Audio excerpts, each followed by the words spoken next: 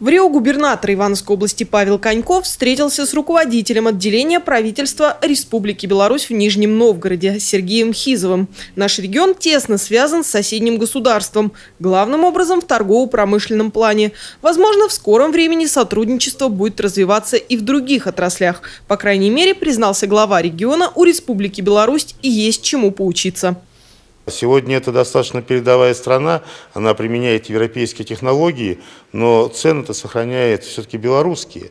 Э, поэтому у нас есть хорошие перспективы. Мы сегодня договорились о том, что в разумное ближайшее время э, посетит э, Ивановскую область белорусская делегация на уровне посла Республики Беларусь.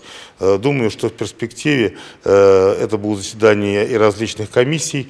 Во всяком случае, я сторонник того, чтобы наращивать сотрудничество.